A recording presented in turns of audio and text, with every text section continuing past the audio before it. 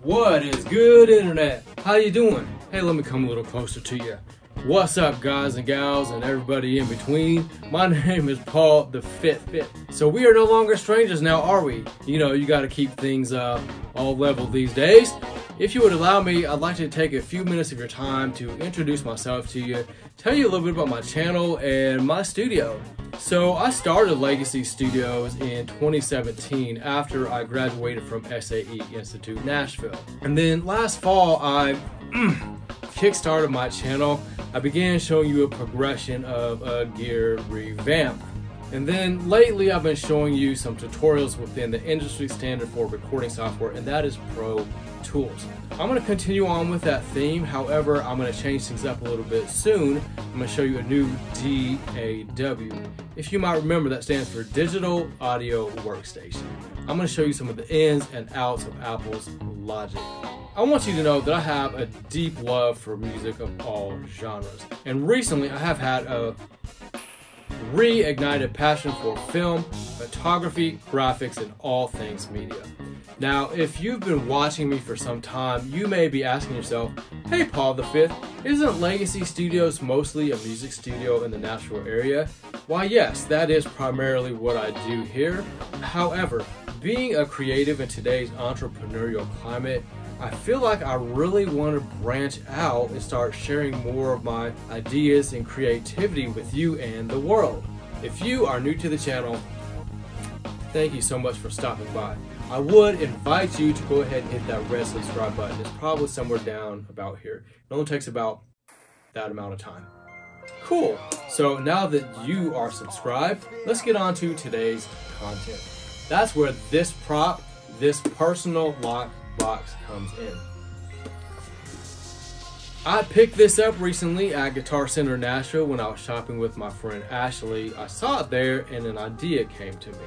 But before I get into things too deeply, I want to let you know that I am not sponsored by Guitar Center, nor am I sponsored by the makers of this fine personal lock box. However, I really wish that I was. How can I make this happen? Any ideas? Let me know in those comments. So, allow me to share with you my idea about this box. If you're in the music industry, you may know what this looks like.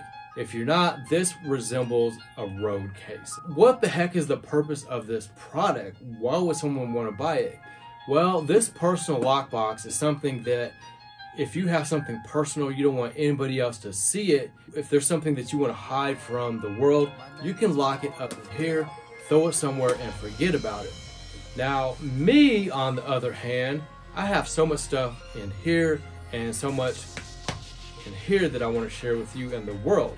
So let me share with you what's in my personal lockbox. At the moment, absolutely nothing. Well, since it's open, let me show you what we're working with. If you get yourself one of these, you'll see that on this side you have ample space to store your personal belongings. This side you have the same amount of space and on the bottom you have this little mesh compartment. It does come with two keys I'm not trying to sell you this product, but if you do get one, please don't lose those keys, okay? So my idea is simply this. I am not trying to hide or keep information from you or from anybody or the world, okay? My idea and what I want to do is actually to share things with you. I want to share with you industry secrets.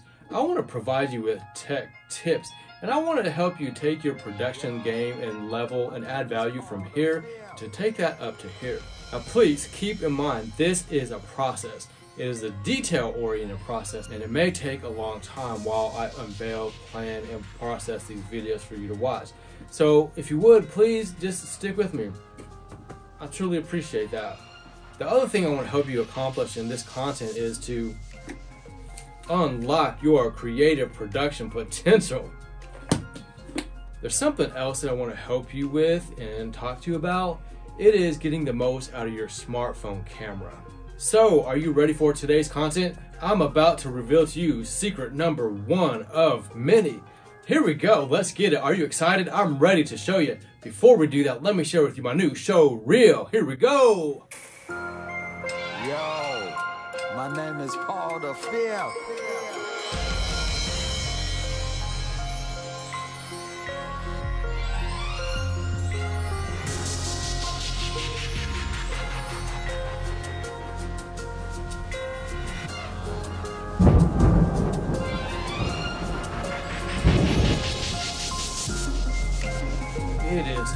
Time to unveil what's in my personal lockbox secret number one. You guys ready for this? Here it is. You probably can't see this, so let me bring it closer to you. It says, before you book studio time. So today's topic is all about before booking studio time. Take it away, Paul the Fifth. For today's topic, we are talking about something that needs to be talked about. So here it is. This is a combination of adulting, prepping, and getting yourself and your band fully prepped for your studio session. Whenever you book your session, if you do it online or you possibly call your studio, this is about a couple things time and money.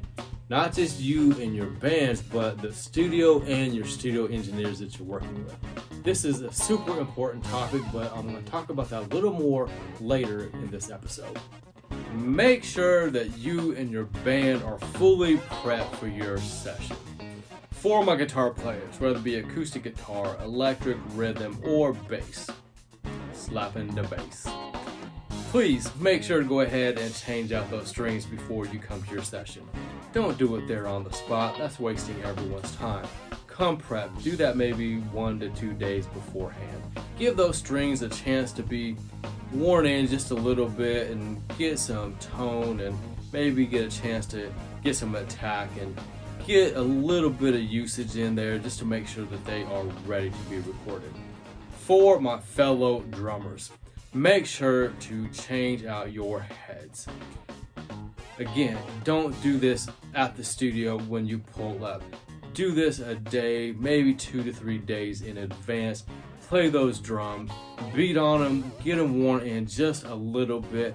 Make sure that your drums have been tuned, that they're fully maintenance, and they're in good shape to be recorded.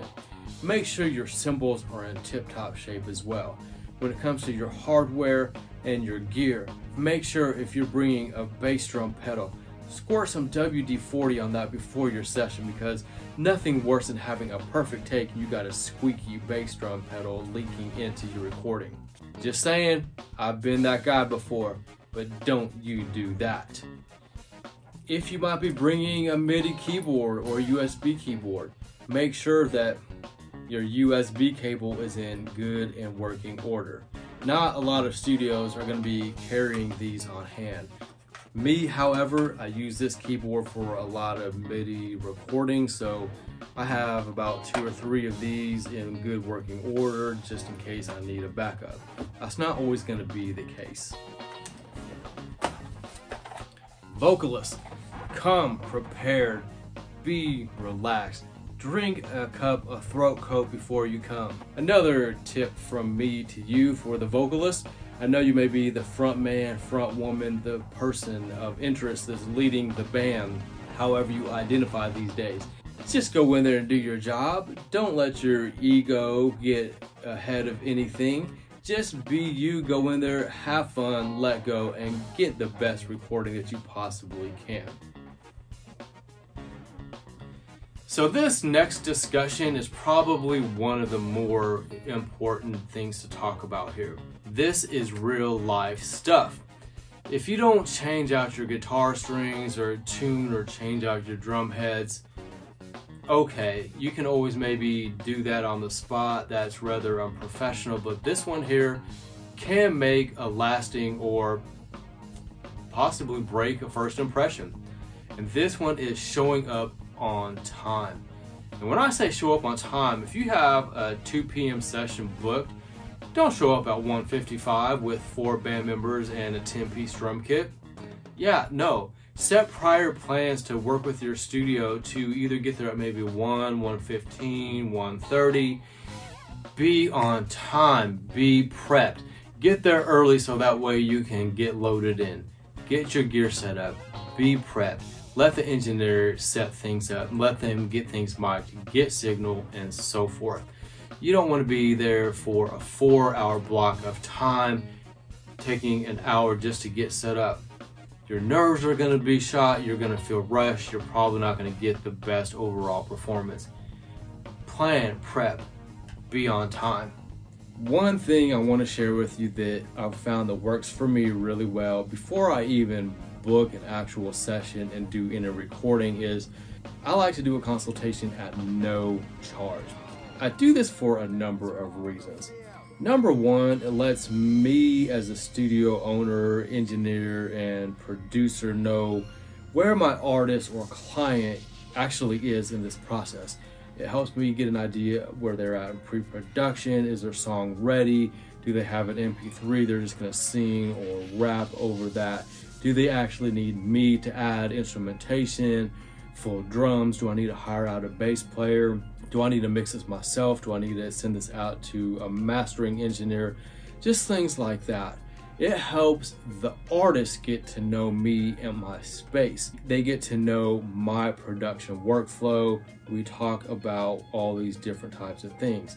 Them coming into my space gives them a feel for what it's going to be like when they actually come to record while they're paying for this project.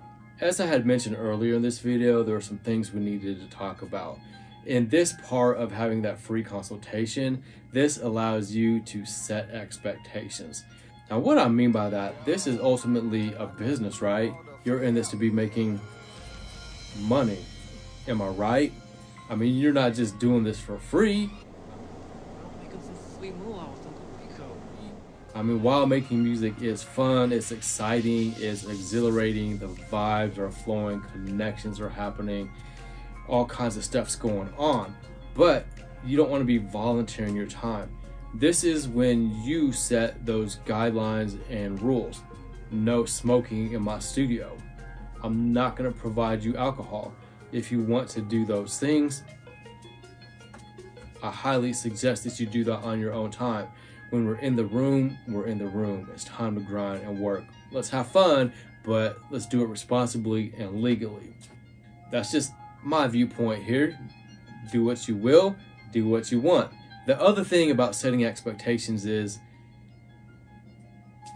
you have someone coming into your space, they are shedding out money, they are putting what's in their mind, their heart, and soul, and they are performing that for you maybe someone that they don't know very well other than just this consultation. That's not a time for you to put on a game face. It's time for you to be completely 100% real with that client. Something to mention when it comes to talk about expectations. We're musicians, we're all human. Our egos get to us sometimes. It is your job as the engineer, mixer, producer to reel these artists back in. All right, guys, going back to expectations. Let's get focused on this. Let's stop bickering. Let's stop fighting. All right, you have to wear many hats here. You have to be the person that smooths things out. You have to keep people focused. You have to continuously worry about budgets. You have to say, that was a great take. But you know what? I feel like what you told me you strive for excellence. I think we can probably get a couple better takes out of this here. Can we try it again? But try it in this way. Little tips like that. You have to be a psychologist. You have to be the janitor. You have to be the everything. You are the one that's running this session, whether you realize it or not. With that being said, other things are going to happen. Bad weather. If you live in Nashville, traffic is horrible all the time, unless it's like 3.30 in the morning. That's usually when I leave here. Things are pretty good. Word to the wise. If you live in Nashville, never speed through Berry Hill. Just saying, speaking from experience there. Something else that can take place when it comes to recording. You may break a drum head. You may break a guitar string. Uh-oh, technology, power might go out. You may have something go bad with an interface. Maybe one of the monitors stops working. If you have something going on with the computer, the hard drive's not recognizing things. What do you do? All right, guys, let's take five. Go outside, get some fresh air. Let me reboot. We'll come back refresh and we'll reconvene. So these are some little tips from me to you to help run your session smooth from an engineer, producer, someone that's running the session. And that's a couple tips for you as an artist or musician coming in before you actually spend money and time investing in the studio. Just some things to think about.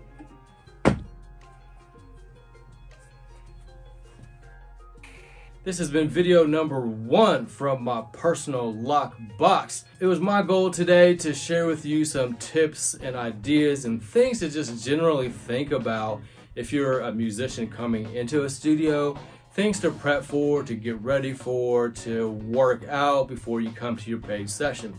If you're on the other end of the glass, if you're an engineer or producer pushing that red R button, same thing just some tips, things to think about, how to get through some situations, and how to coach.